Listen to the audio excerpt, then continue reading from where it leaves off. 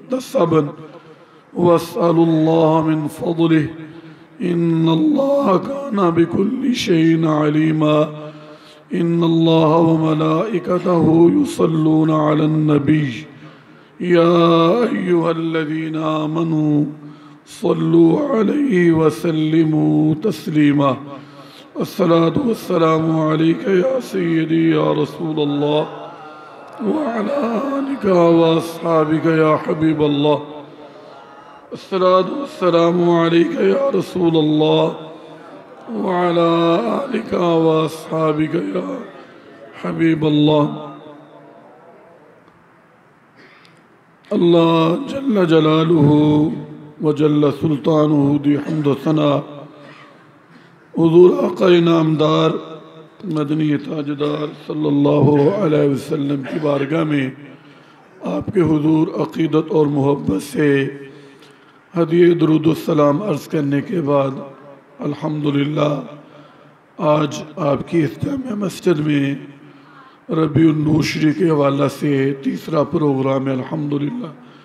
अल्लाह ताला हम सब की हाज़िरी को अपनी बारगाह में कबूल फरमाए। और सरकार दो आलम सल्लल्लाहु अलैहि वसल्लम के ज़िक्र और आपके मिलाद की जो बरक़ात हैं, अल्लाह उससे हमें भी हिस्सा नसीब फरमाए। मौजू की मुनासबत से ही एक शरीफ का मफहम अर्ज़ है। फिर किबला हाफिज साहब ने जो मेरे ज़िम्मे मौजू लगाया है, मैं कोशिश करूँगा कि उसके मतलब भी कुछ अर्ज़ करूँ। मिशकातुलमसाबी में एक हदीस शरीफ है, जिसके रावी हैं हज़रत जरीर रदी अल्लाह तन हज़रत जरीर रदी अल्लाह तु ये वो सिहाबी रसूल हैं, जिनको मेरे अल्लाह ने हज़रत यूसुफ अलैहिस्सलाम जैसा हुसन अता फरमाया। यानी आप कह सकते हैं कि सिहाबा में ये इंतहाई खूबसूरत थे।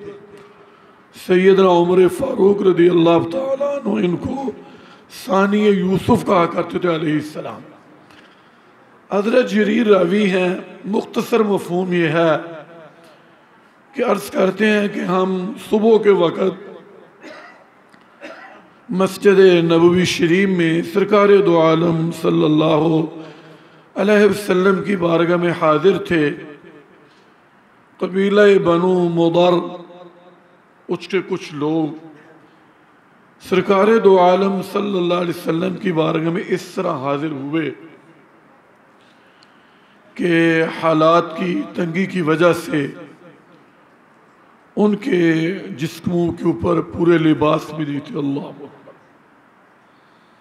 जी, गालिबन नाफ से लेकर घुटनों तक बमुश्किल जो शर्मगाह है, इसको उसको छुपाए हुए, अपनी गर्दनों में तलवारें लटकाए हुए मेरे और आपके आका सल्लल्लाहु अलैहि वसल्लम की बारगाह में हाजिर हाजिर खिदमत हुए।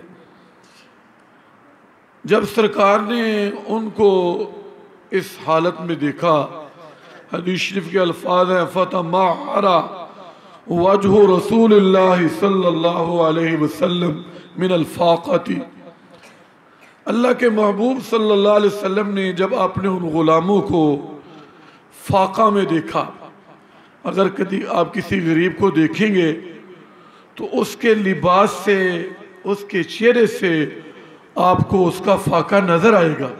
जी तो ज़ाहिर है अल्लाह ने सरकार को तो वो शान दी है, जो ज़ाहिर को भी देखते हैं, बातन को भी देखते हैं। अल्लाह अकबर।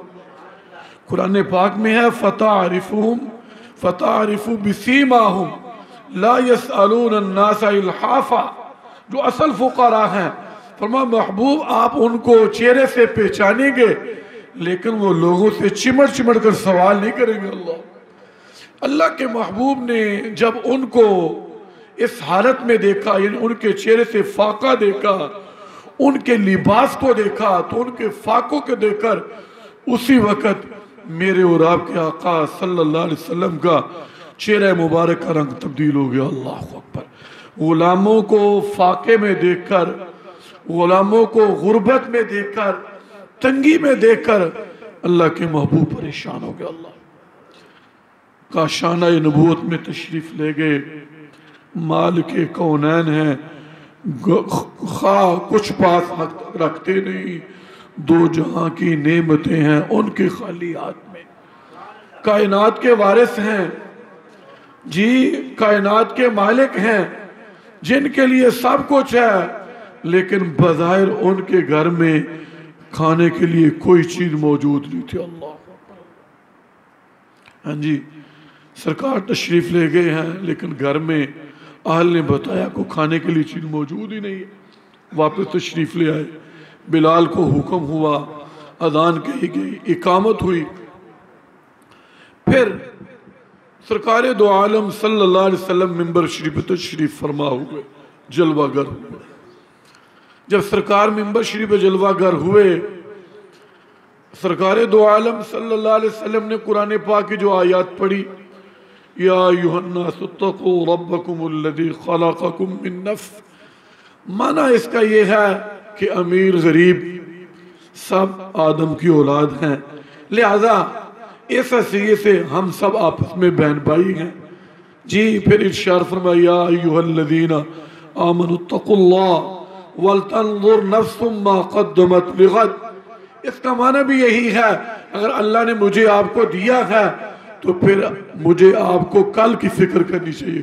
कल से मुराद कल नहीं है कि आज बुद्ध है, कल जुमेरात है। कल से मुराद, मरने के बाद वाला कल अल्लाह हशर का कल है। जी तो फिर अल्लाह के महबूब सल्लल्लाहु अलैहि वसल्लम ने अपने असहाब को खर्च करने की, अल्लाह की राह में सदका करने की, अल्लाह की राह में खैरात करने की तरगीब दी। अल्लाह जी, कारी साहब, इंतज़ामिया, मस्जिद की कोई ज़रूरत हो तो अपील करते हैं ना। तो जब अपील की जाए तो आपको पता है, हालात ऐसे हैं।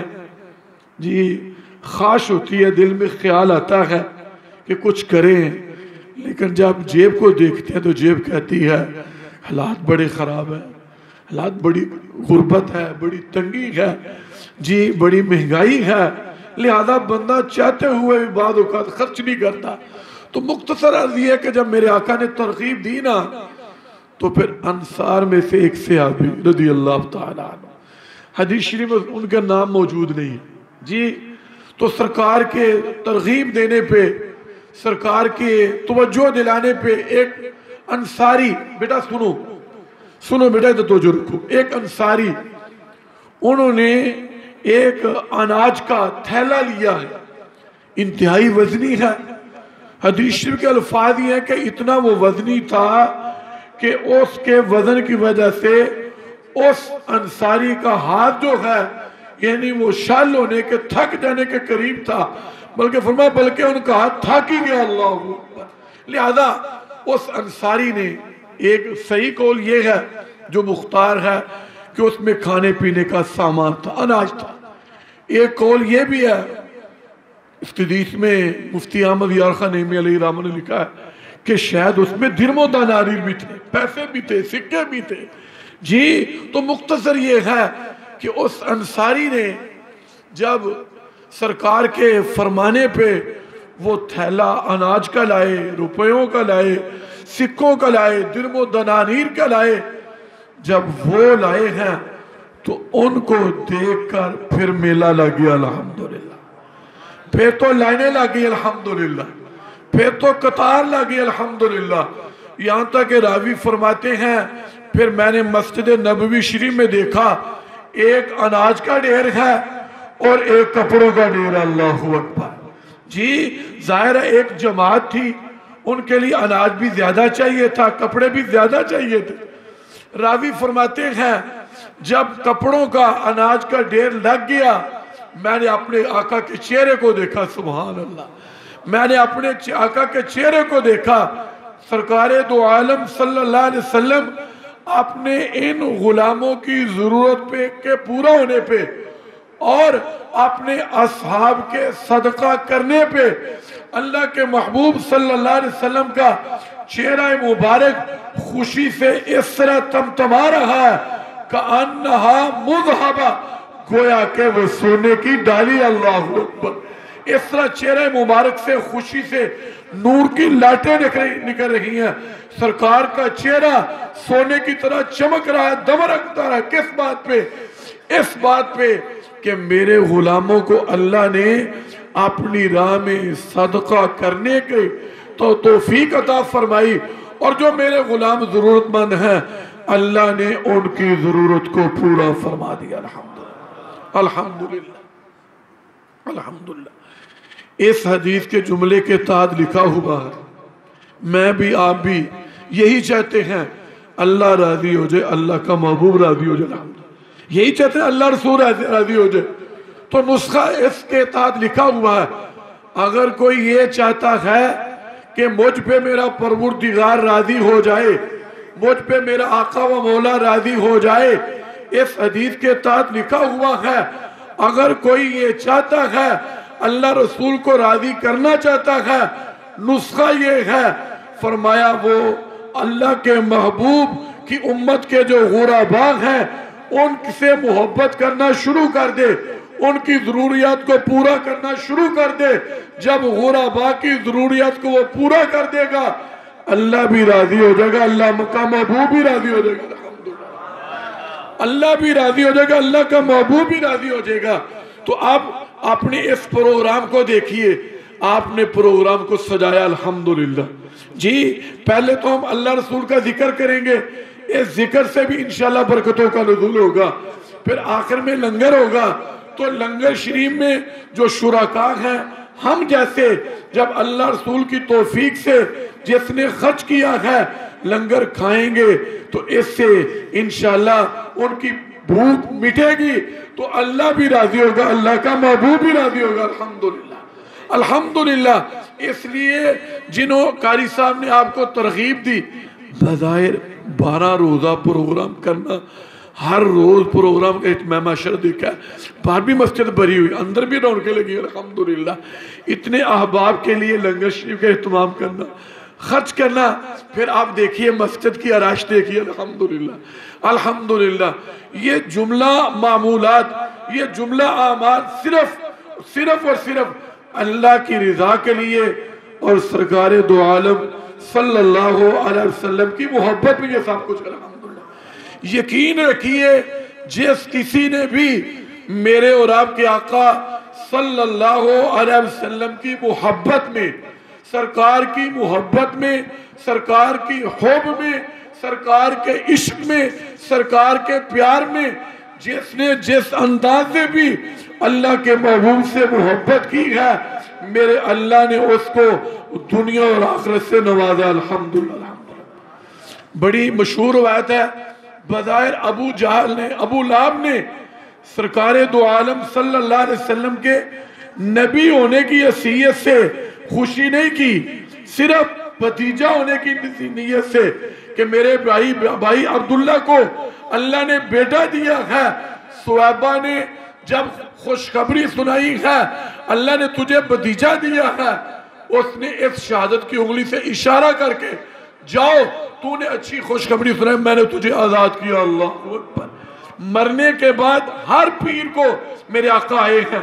पीर को उसने सरकार की आमद की खुशी में भतीजा होने की नीयत से उसने ये अमल किया है। मेरे अल्लाह ने शहादत की इस उंगली से हर पीर को उसको ठंडा, मीठा पानी भी मुयसर आता है और अल्लाह उसके अजाब में तखफी भी फरमाता अल्लाह अकबर। अब तस्वर फरमाए, भतीजा होने की नीयत से काफिर है।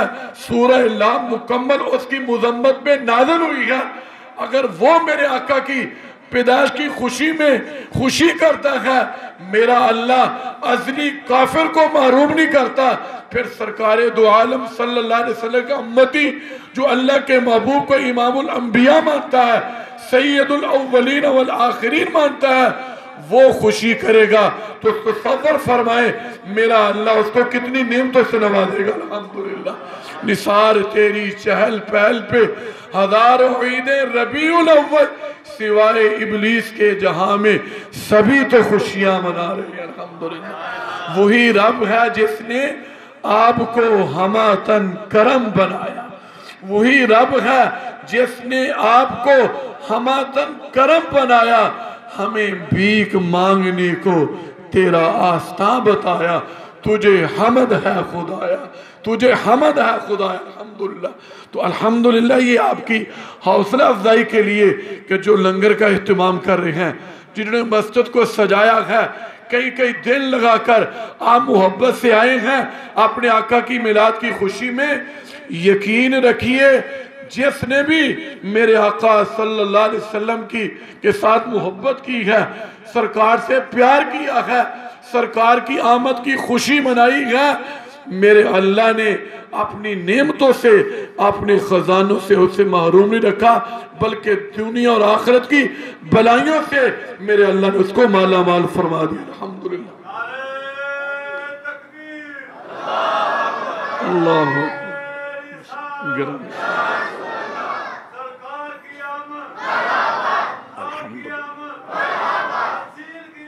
मरहबा अल्हम्दुलिल्लाह। जी अर्ज़ है। मैंने वैसे आप सबको अर्ज़ किया था डॉक्टर साहब मेरे मुआलज हैं कि गले का बड़ा मसला है।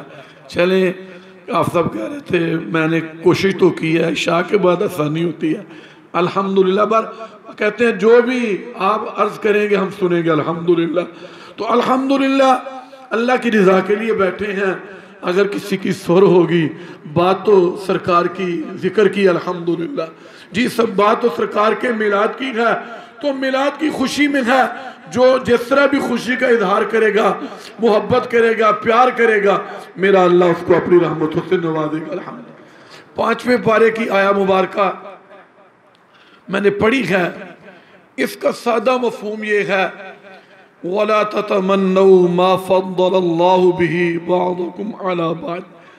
माना इसका ये है कि अल्लाह ताला ने जिसको मर्द बनाया है, वो अपने मर्द होने पे अल्लाह का शुक्र अदा करे।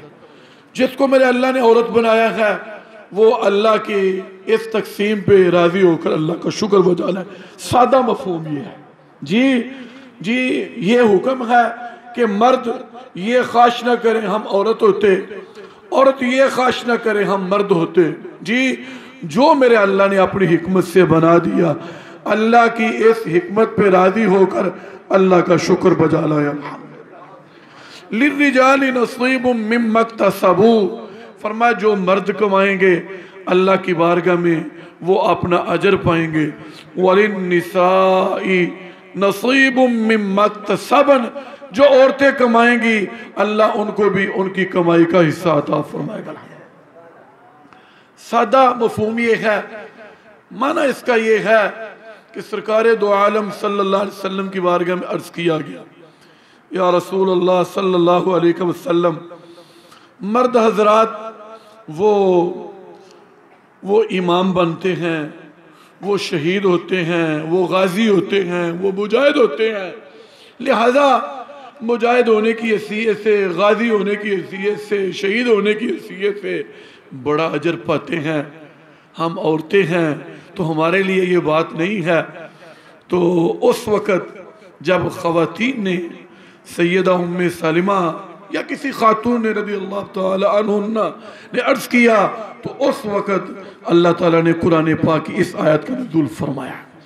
जी, एक रवायत में इस तरह भी है, एक खातून ने अर्ज़ किया, या रसूल अल्लाह सल्लल्लाहु अलैहि वसल्लम, इस एतबार से कि रब एक है, रसूल एक है, कुरान एक है, हमारे बाप सब के आदम एक है, माँ अव्वा है अलैहिस्सलाम फिर क्या बात है कि अल्लाह ताला ने कुरान पाक में जहाँ भी खिताब किया, मर्दों को ही खिताब फरमाया।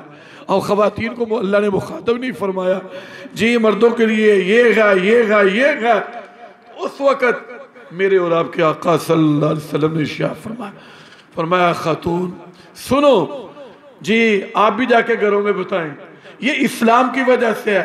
खातन पे औरतों के एहसानात क्या हैं? और हम मर्दों पे इस्लाम के एहसानात क्या हैं? ये छोटा एहसान है कि मैं आप अल्लाह की रिजा के लिए कोई भी अमल करते हैं मेरा आपका अमल वो अल्लाह की बारगाह में लिख दिया जाता है अल्हम्दुलिल्लाह। और मेरा और अल, मेरा और आपका परवरदिगार कोई भी अमल बात याद रखें अल्लाह की बारगाह में मिकदार नहीं देखी जाती। जी इसने एक रुपया दिया है दो दिए हैं हज़ार दिए हैं लाख दिए हैं, दो ये नहीं देखा जाता।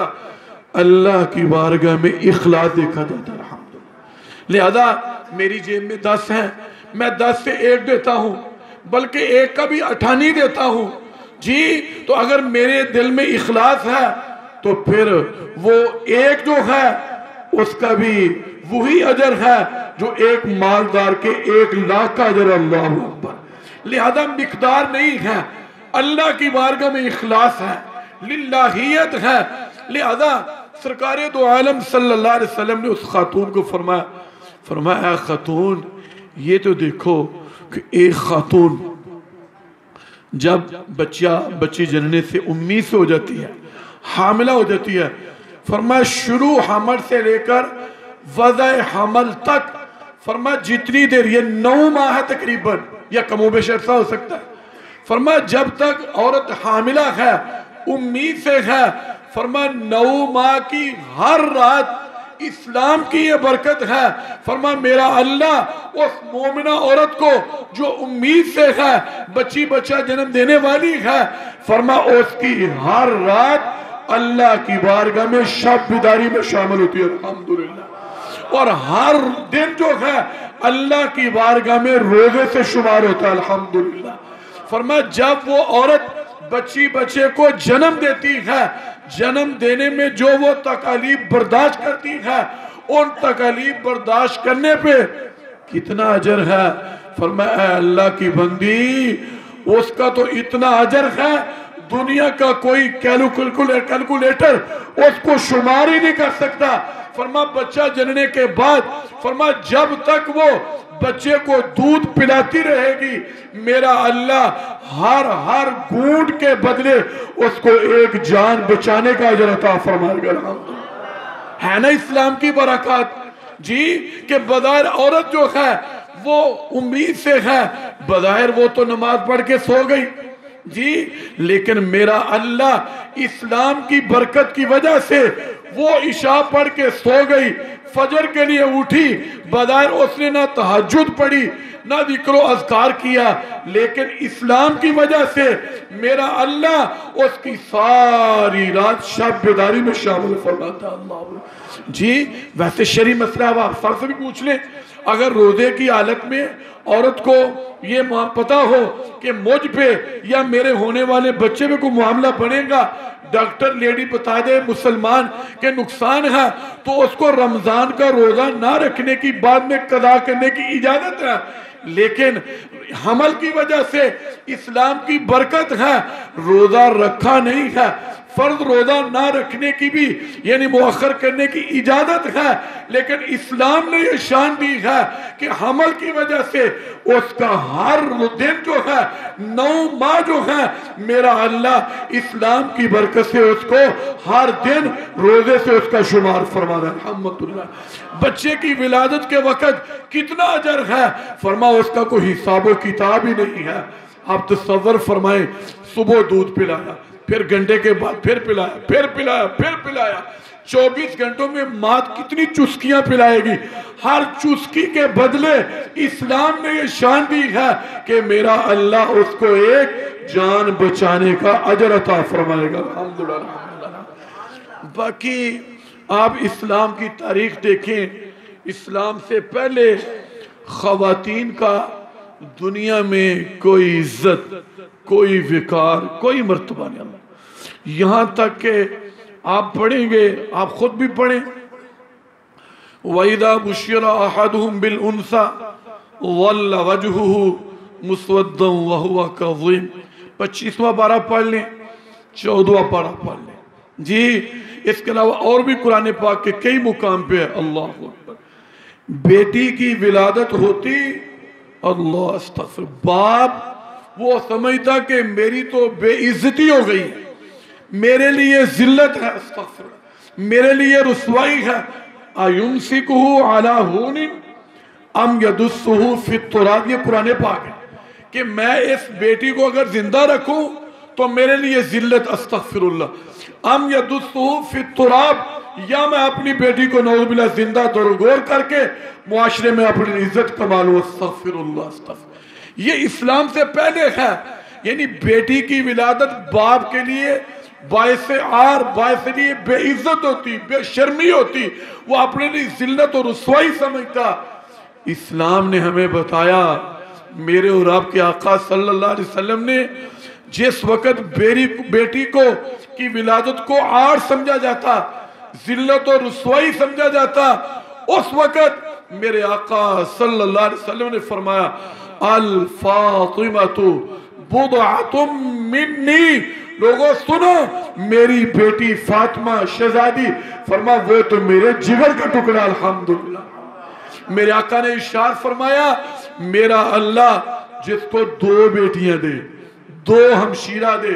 बल्कि मैं पढ़ रहा था दो बेटियाँ, दो हमशीरा या दो करीबी रिश्तेदार, दो बहने, दो कजने, उनकी किफालत की अल्लाह ने उसको ज़िम्मेदारी दी। फिर उसने उसको बेटों पे तरजीह नहीं दी, बेटों को उनके ऊपर। मद अल्लाह की रिजा के लिए उनकी किफालत की ज़रूरत पूरी की। जी, यहाँ तक कि उनका निकाह कर दिया। फरमाया, दो बेटियाँ, दो बहनों दो अजीजा खातन की किफालत करने वाला, फरमा मेरा अल्लाह, इन बेटियों, बहनों, अजीजों की किफालत की वजह से मेरा अल्लाह मेरे उस उम्मती की बख्शर फरमा देगा जी, माँ, अल्लाह अकबर, अस्तगफिरुल्लाह। माँ, कोई इज़्ज़त नहीं थी तरका तकसीम होता है। नवजुबिल्ला इसी तरह माँ को भी बेटे आपस में तकसीम कर लेते अस्तगफिरुल्लाह। अगर चाहते तो माँ को लौंडी बना लेते, अस्तगफिरुल्लाह। अगर चाहते तो माँ को मार्केट में जाके बेच देते, अल्लाह वो माँ जिसकी मुआशरे में कोई कदर नहीं थी, कोई कीमत नहीं थी, सिदरतुल मुंतहा से ऊपर है जन्नत। जी, वो जन्नत जो सिदरतुल मुंतहा से ऊपर है। मेरे और आपके आका सल्लल्लाहु अलैहि वसल्लम ने उस जन्नत के बारे में इरशाद फरमाया फरमाया, मेरे अल्लाह ने जन्नत तुम्हारी माओ के कदमे के नीचे रखी अल्लाह। है ना इस्लाम, एहसानात है इस्लाम के के मुआशरा में बेटी, मैंने कुरान पाक की आपको ऐसे पढ़ के सुनाई, बेटी होने की हैसियत से कोई मुआशरे में इज़्ज़त, कोई विकार, कोई मरतबा, मुकाम बाप बनो संगार करके नौद बिल्ला अपनी बेटी को ज़िंदा तरगोर कर देता, कुएँ में जाकर गिरा देता, बेच देता जी, बीवी बीवी की मुआशरे में कोई इज़्ज़त वो तो जूती समझते अस्तफिर जूती, जब चाहो, जिस वक्त चाहो, जब चाहो पीट दो, जब चाहो मार दो, अल्लाह। लेकिन मेरे और आपके आका सल्लल्लाहु अलैहि वसल्लम ने जी, बताएँ जाकर, अगर बीवी है तो बीवी होने की हैसियत से अल्लाह के महबू ने फरमा, मेरे गुलामों, सुनो।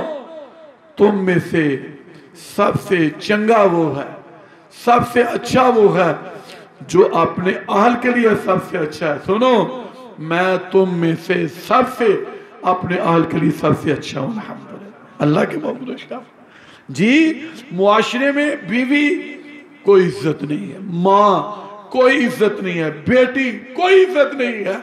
मेरे और आपके आका सल्लल्लाहु अलैहि वसल्लम ने इस्लाम कबूल करने के बाद कई असहाब ने अल्लाह के महबूब सल्लल्लाहु अलैहि वसल्लम को बताया, जी, इतनी इतनी एक सियाबी ने आठ बेटियों के लिए बताया, अल्लाह, आठ बेटियाँ। मेरे आका जमाने जालियत में मैंने अपने हाथों से ज़िंदा दुरगुर कर दिया अल्लाह। हज़रत फरमाते हैं, मेरे ऊँट गुम हो गए। जी, ऊँट गुम हुए, मैं ऊँटों के को ढूँढने में था, तलाश में था। एक बंदा एक जगह पे ऊँट लेके बैठा हुआ था, मैं उसके पास पहुँचा। वो किसी इंतज़ार में था।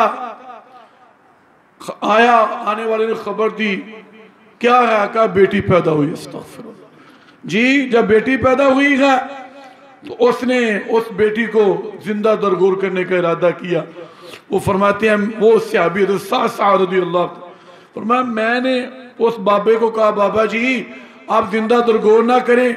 ये जो मेरे ऊँट है ना, ये ऊँट आप मुझसे ले लें और आप मुझे अपनी बेटी दे दें, अल्लाह को तीन ऊंटों के इवज मैंने उस बाबे से उसकी बेटी को खरीद लिया, अल्लाह जब वो सियाबी इस्लाम कबूल किया ना उन्होंने, फरमाते हैं, इस तरह इन्हीं दो ऊँट देकर मैं होने वाली बेटी को खरीद लेता।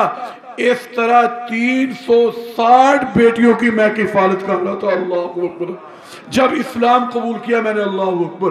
आप तस्वर फरमाएँ कि अगर एक सियाबी उन्होंने बताया कि मैंने 360 बेटियाँ, जी, हर बेटी को दो ऊँट देकर खरीदा है, आप तस्वर फरमाए कि ये उस जमाना में, जमाने जाहलीत में एक बेटी का, उनके हाँ क्या मर्तबा और क्या मुकाम है? अल्लाह अकबर अल्लाह अकबर।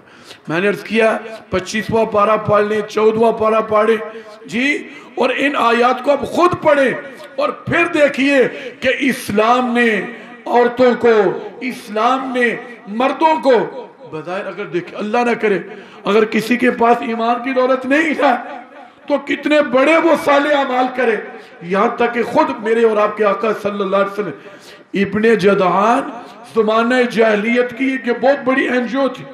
आने वाले मुसाफरों को, गुराबा, मसाकिन, बेवगान, यतीम बच्चियों, बच्चों की वो किफारत करता था। दस्तरखान आप का सजा हुआ था। सरकार के बारे में अर्ज़ किया गया, इब्ने जदान बड़ी ने किया है। यार तुला कोई बख्शर? फरमा नहीं। क्यों? फरमा इसलिए कि उसने कभी नहीं कहा, ऐ मेरे परवरदिगार, मेरी बख्शर, फरमा दे। यानी ईमान नहीं लाया। लिहाजा, जब ईमान नहीं है तो फरमा बड़ी बड़ी नेकियाँ हैं। तो सारी नेकियाँ ईमान ना होने की वजह से वो सब अल्लाह मैं आप बदर छोटा छोटा अमल करें बदर बदर नेकी तो कोई छोटी नहीं होती, कोई भी अमल करे तो अल्हम्दुलिल्लाह, वो अल्लाह की बारगाह में कबूल है। कैसा कबूल है? फरमा, वमा तुकद्दिमूल अनफुसिकुम मिन खैरिन